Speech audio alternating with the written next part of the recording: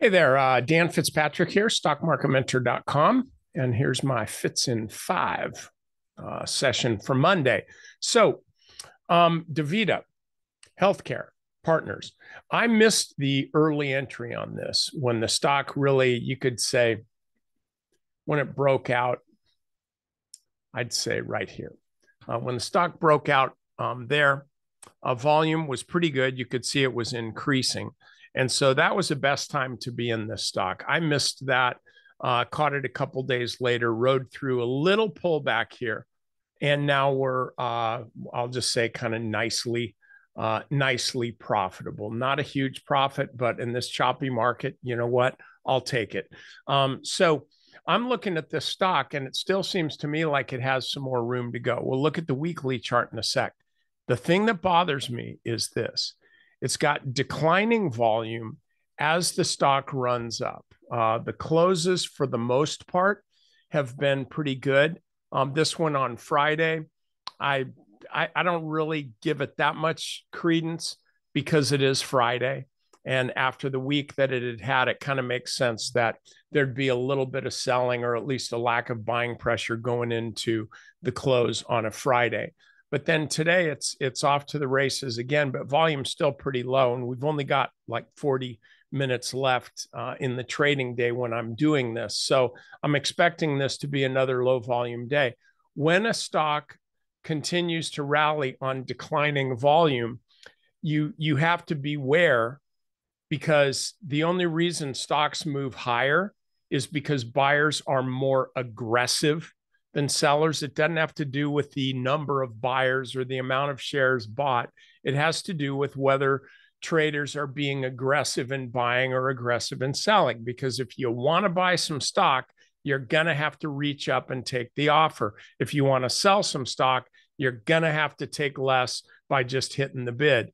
And so here, when we've got aggressive buyers pushing the stock higher, but the volume's actually declining, that's not a good deal for the long run. So I want to go to the weekly and then I'll come back to the uh, to the daily.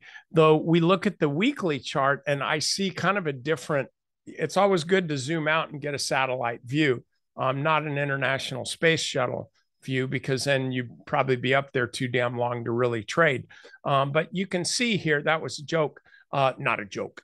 Uh, so you can see the way this thing broke out is running up above 150 this does have plenty of room to move. It has plenty of room to go after this big, deep cup and handle. So we go back to the daily chart, and this is what I'm looking at.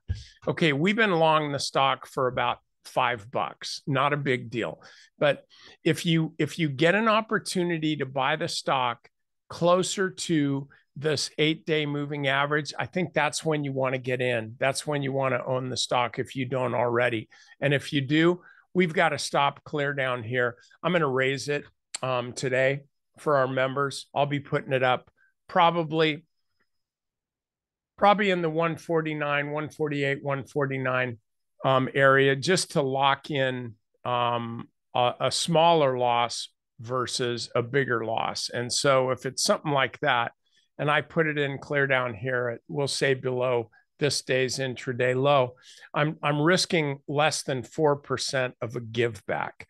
Um, so that's probably where I'll put it. Maybe a little bit higher. Members, you want to check the active trade list, and you'll be able to see that. By the way, if you're not a member, why don't you take advantage of that today? There's a trial membership. If you don't like it, you can leave no questions, no complaints, no nothing. Just let us know and you can cancel your membership. But meanwhile, my suspicion is you're going to wind up making a lot of money. Also, we've got NVIDIA on uh, Wednesday night reporting.